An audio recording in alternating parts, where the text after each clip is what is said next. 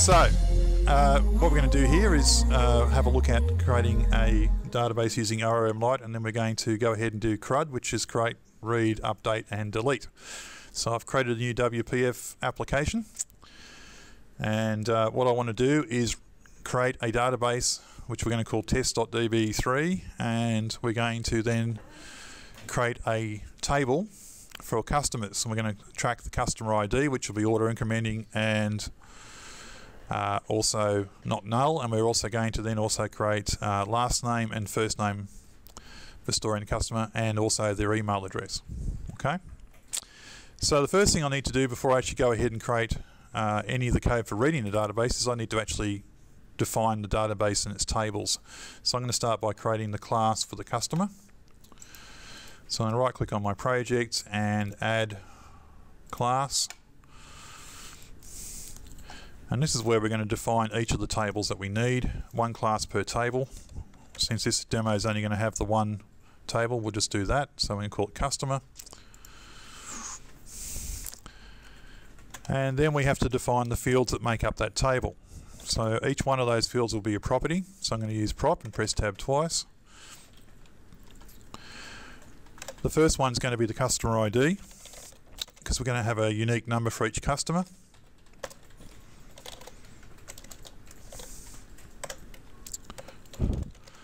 Then we'll have the details of the customers, like their last name,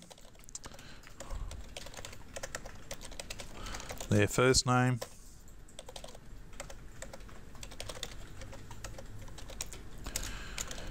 and their email address. And we're obviously including other details that we want for that particular table. So they're the properties, but I also need to tell our uh, project that these are going to be working with ORM Lite. Now at the moment I haven't actually got any references to ORM Lite at all, so my project doesn't know what ORM Lite is. So at this point I'm going to go across and add references and choose NuGet packages. and I'm going to have a look for ORM Lite. ORM Lite can work with a variety of databases. In this demo we're going to be working with SQLite so I'll put that in as part of the search term as well. And we'll get a few answers back. The one we're looking for is the version of ORM Lite SQLite Windows. Works with x86 and x64. So I'll go ahead and install that.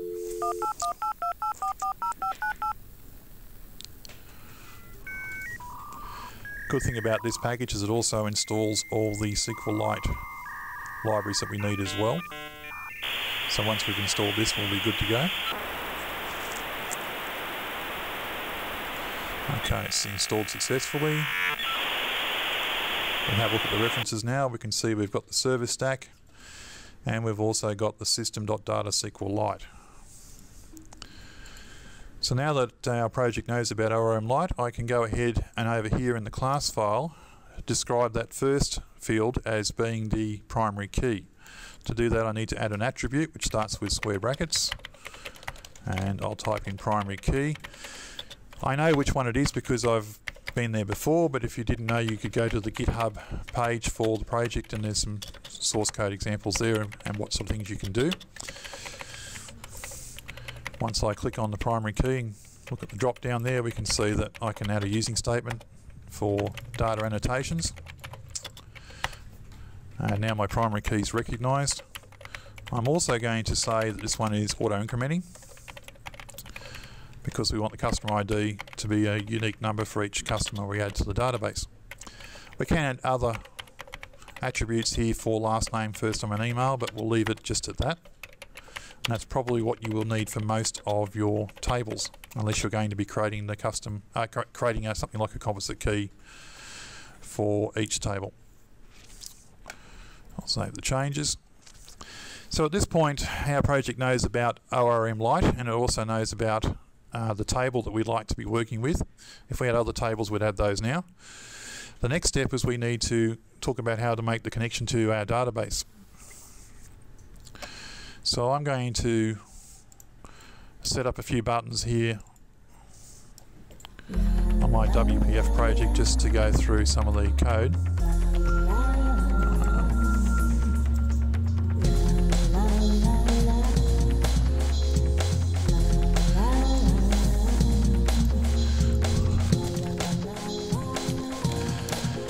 So the first one's going to be called button test, and I'm going to use that to actually uh, create the database itself, which we can do in code.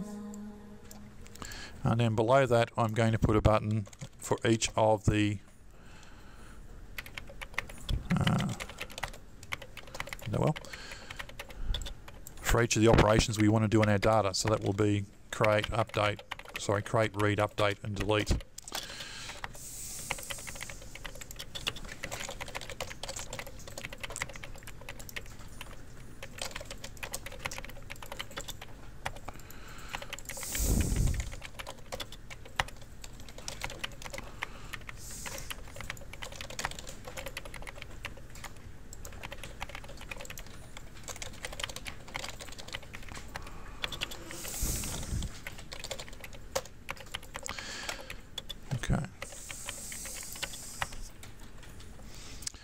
Okay, so we'll start off by actually looking at the codes required to connect to our database and create it if it doesn't already exist.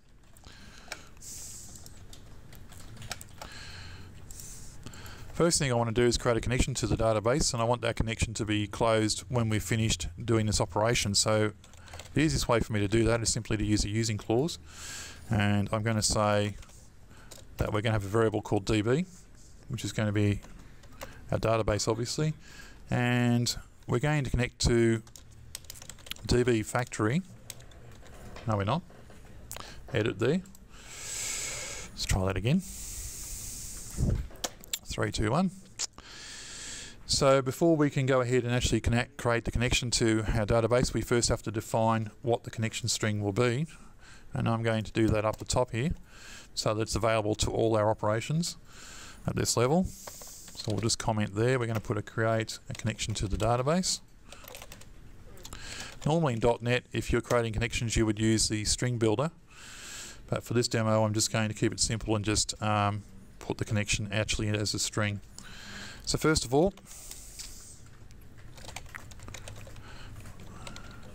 we have to create the ORM Lite connection factory.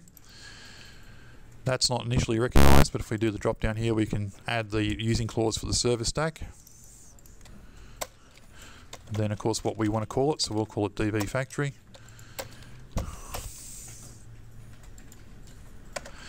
And now we're going to specify two pieces of information. First one is going to be what the path and the name of the database is. I'm just going to elect to put the name of the database, which means the database will be created in the same location as where my code is executed from. That's probably not a good convention if you're going to be doing production code where you'd want to actually put your database in either a network path or perhaps uh, in one of these special environment folders like uh, app data and so on. But for this demo we'll leave it with the actual project. And the second part I need to say is what dialect of SQL that we're going to be using because SQLite supports a variety of different databases natively. So in this case we're going to say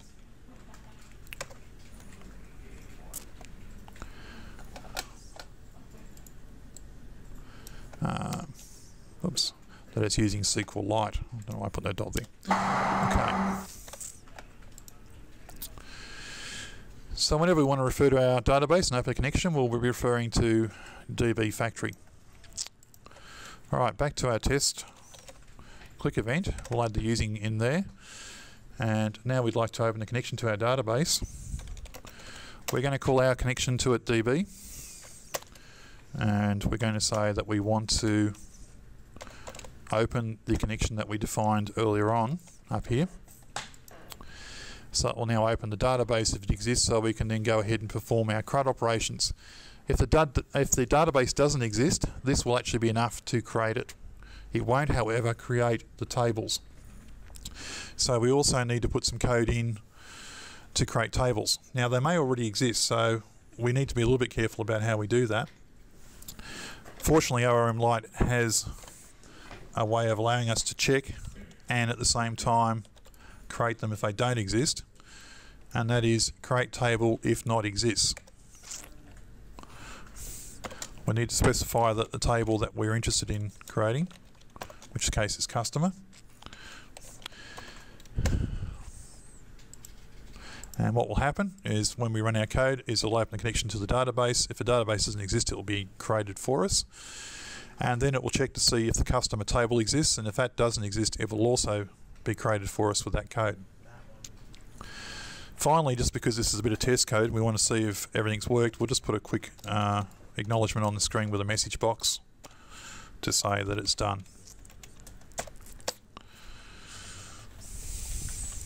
Okay, so at this point I've got enough code to be able to actually go ahead and test my project, so we'll go ahead and run it.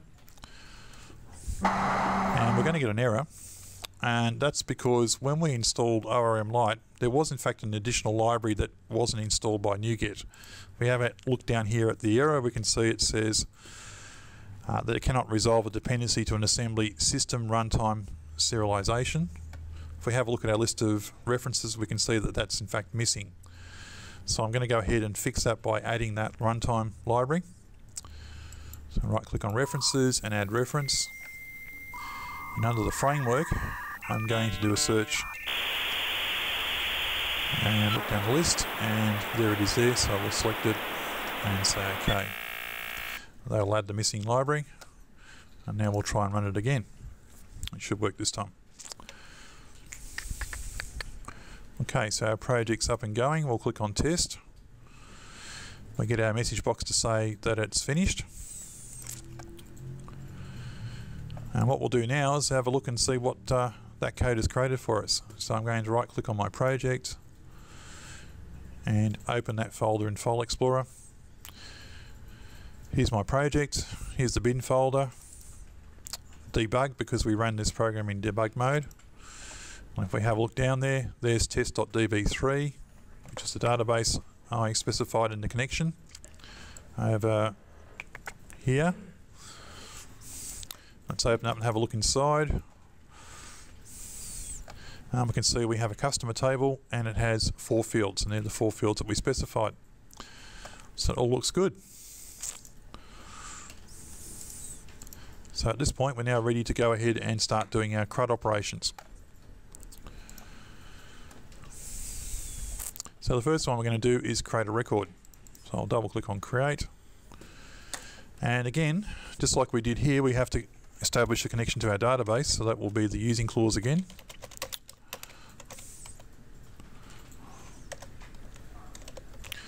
And then at this point we can go ahead and actually create our customer.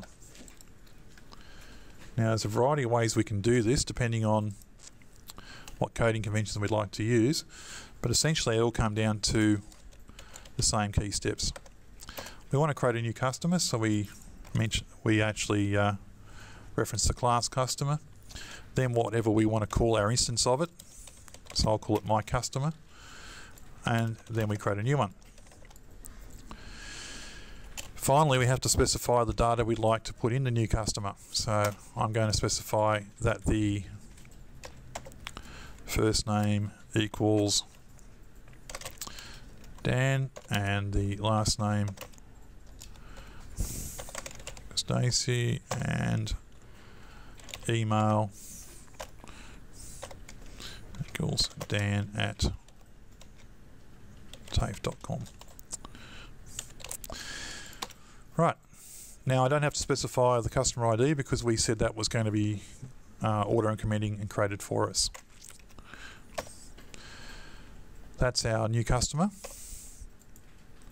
But what we've got at the moment is a copy of our new customer memory. We haven't actually committed that to the database, so the next line is going to go ahead and do that with an insert. And we're just going to simply specify our customer. Finally, again, I'll put a message on there just to let us know that it's done. Alright, so now we'll save our changes and run the program. click on create. Says it's done. Let's go and have a look at our database. Wrong one sorry. Demo 5 here. What am I thinking about yeah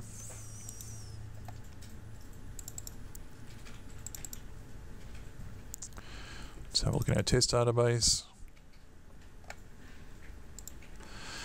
and here's our first record for customer, and our details have gone in there. So it's all good. Let's go ahead now and look at the second operation we're going to be doing, which is a read. Again, just like we did with the first and second examples there, we're going to have to first of all establish a connection to the database. This code you'll find won't change in any of these operations I'm doing. And then we're ready to read the database. We've got a couple of choices how we go about doing this. Let's say, for example, we know what the employee, uh, the uh, customer ID is. So we want to go and find the exact customer. We can do that. First of all, we'll create our container to to store the information retrieved from the database. So we're creating a new instance of customer there. And then we're going to be searching on single by ID, which is simply saying that we expect to return one record and we know what the ID should be. So in brackets we can say that we're looking for record 1. Now, of course, we also have to specify what table, because we could have multiple tables. So here I'm going to say this is coming from the customer table.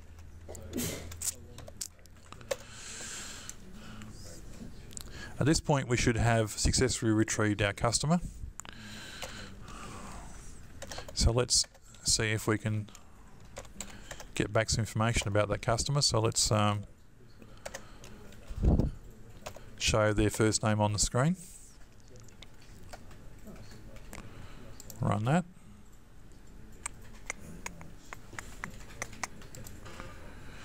And we get back down. Now all your database code, should really be wrapped in a try exception. Uh, I'm not doing that for this particular demo, just for the case of speed, but uh, you would normally do that. But there is one other scenario, and that is that we weren't successful at retrieving customer. So let's say, for example, we're looking for customer 99, which we know doesn't exist in our database because we haven't created him yet. If we then attempt to read that record, we'll find our program will crash because we get a null reference exception, which makes sense. There is no customer 99 to retrieve. So before we go displaying details about that customer, we really should check to see that in fact we were successful in getting them back so I'm going to put an if statement in here and I'm going to check if my customer is not equal to null.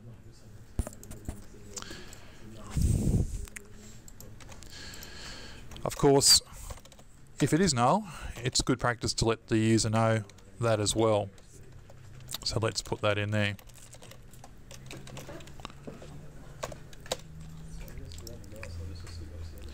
So we'll try running that now. And we get customer not found. Let's uh, put it back to record one so we can test the other side of our if statement there and we get back the customer's name.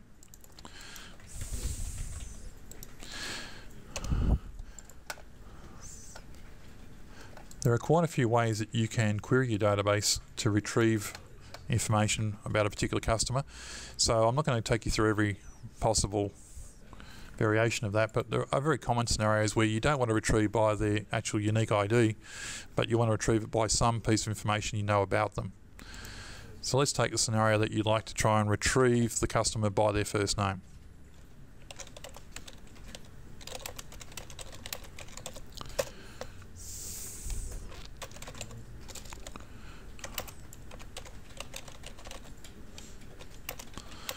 So in this scenario, we're going to write a query using select. Um, we're going to be querying the customer table.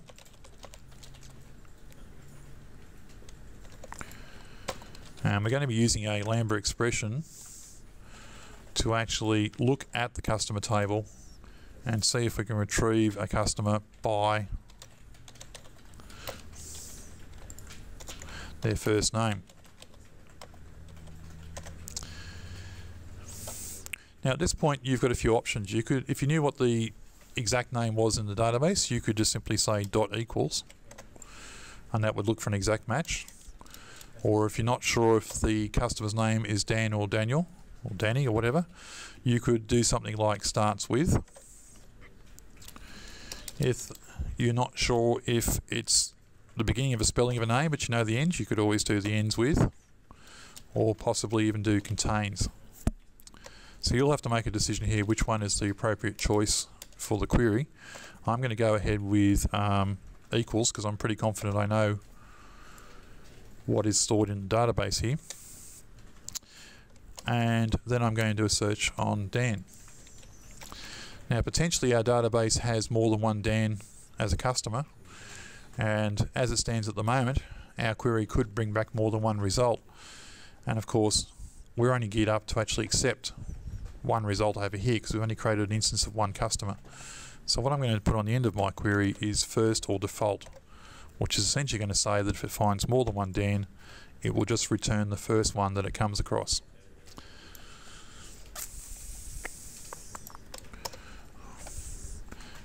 Now, like the previous example, you should check to see whether in fact you got a result and then decide what you want to do. So I'm just going to copy and paste that code underneath my second query here and just see what we get for a result. Uh, let's comment out the first one because we don't want to run that. Oops, sorry, that should be customer 2.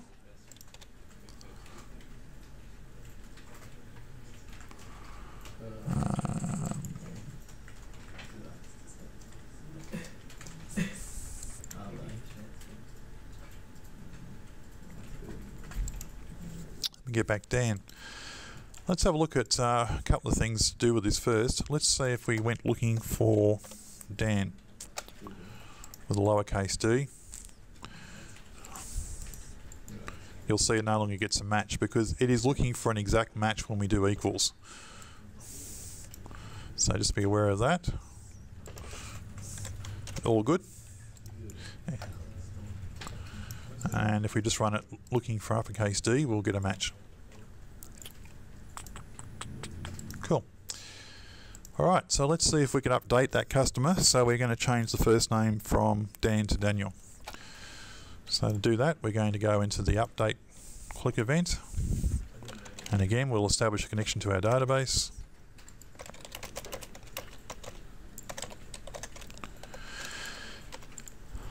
To do an update, we first of all have to retrieve the record that we want to update. So to save a bit of time, I'm just going to copy and paste our code from the previous demo to read in the record. And then inside the if statement here where we were successful at retrieving Dan, we'll go ahead and change the customer's details. So in this case it'll be my customer 2, first name will now equal Daniel.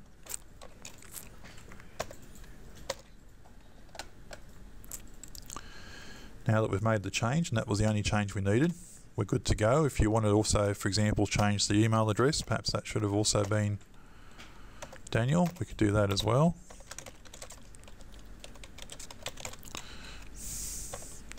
Here are the two changes we want to make.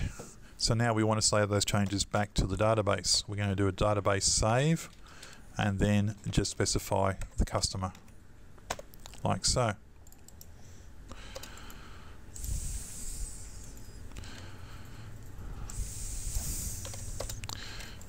Let's put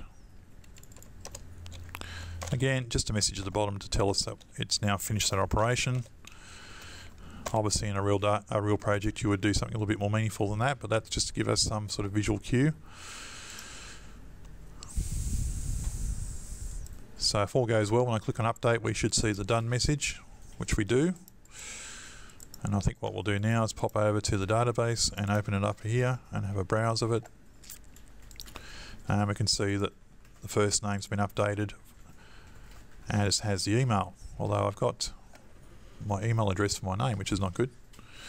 So what did we do there? Let's have a look. I probably made a typo. I did. That should have been email. So let's try running that again.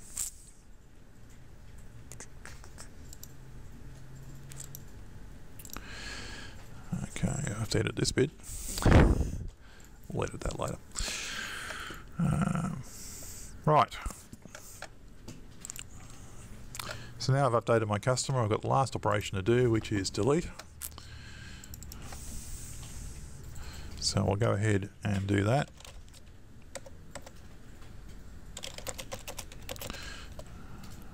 Again, we have to open a connection. And similar to what we did in update, we need to first of all retrieve the customer that we're interested in before we can go ahead and delete them. So I'm going to go back to my previous code and I'm going to, for a change, use the first example we used for the read. I'll pop that in there, comment it. And if we're successful at retrieving customer ID 1, what I'm going to do then is perform a delete, which is very simple to do in ORM Lite. It's simply db.delete and then the customer that you had just retrieved.